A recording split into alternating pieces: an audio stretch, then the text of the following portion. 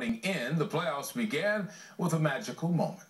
In fact, 20 or 30 years from now, the number of people who were at Roy Halladay's playoff no-hitter will increase because of the number of people who say they were there. In the crowd of 46,411, three families saw this game, this game of a lifetime, together.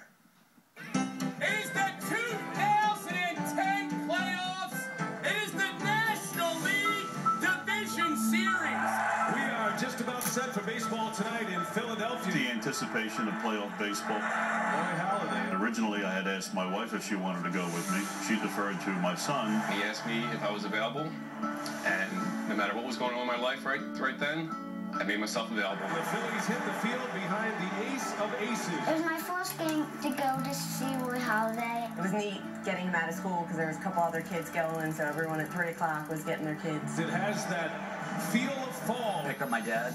We made arrangements to go together, picked him up. We got there a couple hours before the gates opened just to be able to experience it all. We actually took an entire lap around the ballpark just to soak it in. And away we go. Bouncing ball to Jimmy Rollins. We had the best offense from the National League coming into our stadium to play the first game of the, of the National League uh, Division Series. One, two, three start for Roy Halladay. And the throw to the plate, Victorino scores, and the Phillies strike first as Halladay strikes him out. Fastball called strike three. Man, oh man, as he backdoors Scott Rolen. I listened to it on the radio. Doc Halladay is perfect for the first quarter. I knew after every inning that there was no hit, and, and I knew we had a, a good chance. Well, that's a. There's a rainbow. That means there's sun somewhere. Well, the first time that we thought something was on its way to being really special was when it started raining. And we had a gentleman in front of us that was scoring the game on a just a standard uh, scorebook. And my father told him, you know, this night, this might be a night you want to make sure that stays dry. But it's another one, two, three inning for a Big Roy. I guess it was around the fifth inning when the, the, the buzz started around the, uh, the, the, the, the ballpark. I was seeing it was all zeros. I was making sure that he was eating, and it started to rain, and you know he just looked at me and said he's he's pitching at that time a perfect game. So he's the one that that clued me in. The crowd noticed and knew that there was something definitely going on, and, and you definitely recognized it when he walked the one batter. Three-two pitch, and Bruce lays off. The, just the ah. Oh. We knew that it, with the way he was pitching there was still a great chance that we could get a no-hitter. And then everyone was reassuring each other, going, but that's okay. It's all right. We still got the no-hitter going on. All right. Come on, Roy. The bouncing ball out to Rollins. Getting over. Perfect game lost. No-hitter still intact. Gosh, it's hard to put into words, but it was the energy there was absolutely incredible. It was like electric. A few of uh, our more superstitious neighbors around the section 145 where we were sitting started saying, "Don't anybody use the words." No one talks about a no hitter, but we we we definitely we knew what was going on. Nobody really talked about it until the eighth or ninth ninth inning. Nobody was like doing anything like just watching. The crowd was loud, but it was not a regular loud. It was an emotional loud every pitch, uh, you know, the rally towels were going. Um, I just would keep looking over at him, and his mouth is wide open, screaming. And the eighth went up a lot. Can't even begin to tell you how loud it is here, folks. Down goes Jones.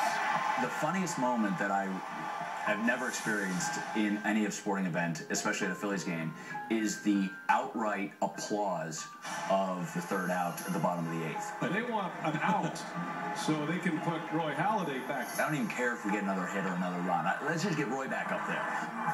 Make the catch, and here we go to the ninth.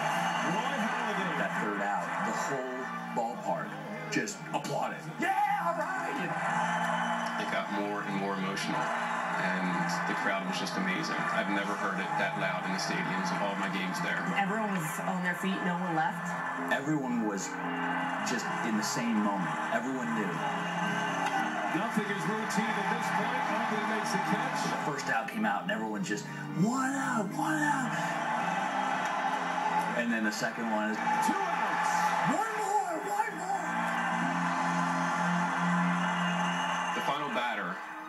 grab my camera phone and put it on video. When I see him getting the, the camera out to start videotaping fan experiences around us and videotaping he and I together and having our picture taken with the field behind us, we, we both kind of knew that something was special was happening. What the hell am I doing? I, I got to document this. So I, that's when I took it out and I watched. I'm watching the last out through my phone and above my phone and through my phone. And as I was taping on my camera phone, my hand was literally shaking because I was so nervous and so emotional at this point. Halladay is one strike away. The 0-2. A bouncer. I thought it was a hit. I was like, I I just got a freeze shot. It's almost like your heart stops. Like, is this going to happen? Is this going to happen? You wondered if it was actually going to be an out, and you thought, "Oh, how does it come down to, you know, this? I was, oh, God, is it gonna get? I, it, ah! Ruiz. And when I saw that grounder come in front of Chooch, and then I saw him make that play at first, Roy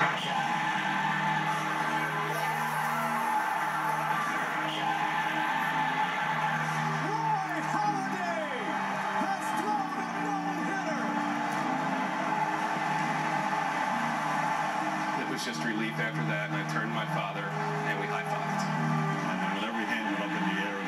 just again just exploded and the fireworks went off. And I was like this. I was so excited. As soon as that out came, it was just, they say, kind of electric. Everyone's friends and everyone's, you know, cheering and high-fiving, and it was just amazing. The whole place just everyone's hugging everyone, and there are three people that I'm intimately uh, know now because of it.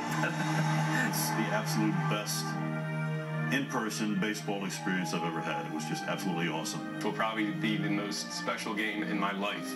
To be there with my father, uh, it's, un- it's unexplainable. It was just amazing. I mean, no one left. I mean, everyone stayed. Uh, it was all of a sudden everyone's now trying to figure out how how how big this moment was. It was amazing.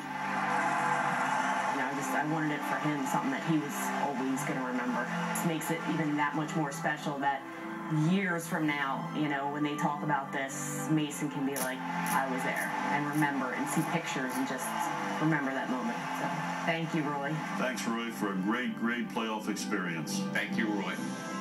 Thanks, Roy, for providing me one of the greatest sports moments I've ever witnessed. Thank you, Roy.